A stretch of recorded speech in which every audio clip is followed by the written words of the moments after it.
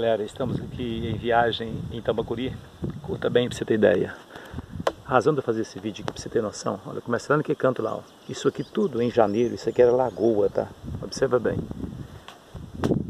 Ó, tá vendo os animais andando ali? Garça ali, já não tem água bem dizer nenhum em lugar nenhum. Aqui, tá vendo? Já virou, tá vendo um pouquinho de água ali embaixo, tá vendo? Nem a coisa mínima mesmo, um barrinho de nada que tem aqui.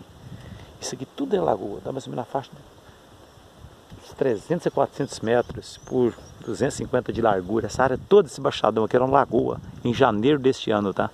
Tá vendo? Durante esses anos que tiveram de chuva aqui foi montando lagoa, mas simplesmente por aí 5, 6 meses, estamos aí com 7 meses, né? Sem chover, bem dizer, embora choveu um pouco, tem mais ou menos faixa de uns 3 a 4 meses que não chove. A lagoa desapareceu, tá vendo aí, ó? Tá vendo como é que o negócio é? Como é que a seca aqui é pesada, né? Encaminhando pelo Vale do Mucuri para frente é pior ainda. Tá seca e simplesmente nós estamos aí hoje, mês de agosto, né? Nós estamos na metade de agosto. Imagina bem se ficar sem chover até para dezembro afora. Então as lagoas elas vão desaparecendo, né? Essa é a realidade. Tá vendo como é que estão secando os negócios aí? Tá cruzado para você ver como as lagoas desaparecem, né? É isso aí, meu amado.